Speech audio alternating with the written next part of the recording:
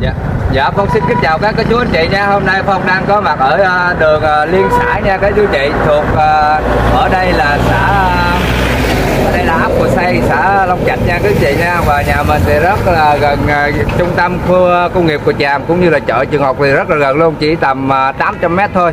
Và hôm nay Phong giới thiệu cho các chú chị là một căn nhà là à, nằm ở mặt tiền đường này luôn nhé và phong à, xin mời à, các chú chị. Và hôm nay phong gặp anh tý. Thì anh tý à, nhờ phong bán dùm nhà này.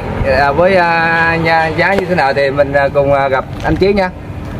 Và anh, anh chí em chào anh chí ạ. và nhà mình thì diện tích bao nhiêu anh, anh chí?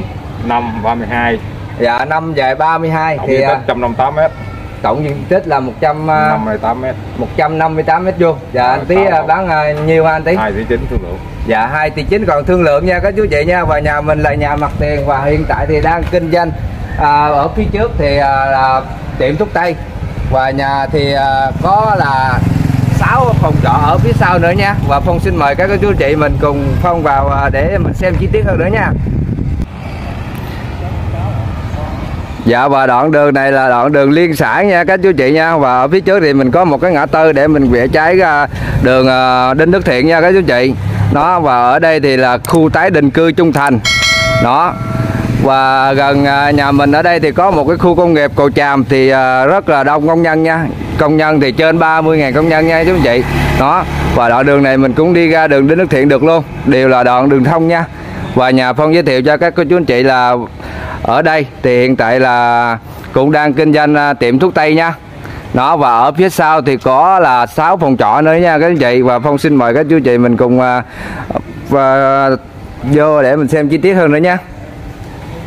Và nhà thì à, hướng phong thủy là hướng đông nha các chú chị. Nó nhà mình thì hướng phong thủy là hướng đông với diện tích là ngang là 5 mét và dài là 32 mét nha. Và đây là có một cái phòng à, trọ thì à, ở phía trước. Và hiện tại cũng đã cho thuê full phòng hết rồi.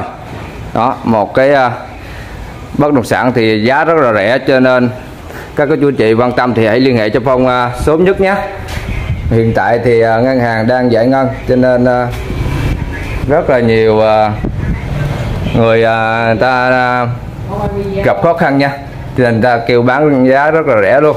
Và đây là cái phòng thứ ba, đây là phòng thứ tư nè. Là toàn bộ là 6 phòng trọ nha và hiện tại thì công nhân đang ở phòng, không có thể quay từng phòng cho cô chú anh chị xem được. Và các cô chú anh chị quan tâm thì cứ liên hệ cho Phong để à, Phong à, sẽ dẫn đi xem trực tiếp. Và mình à, thương lượng trực tiếp với chủ luôn nhé. Và Phong xin chào và hẹn gặp lại những video nhà đẹp giá rẻ tiếp theo nhé. Phong xin cảm ơn ạ.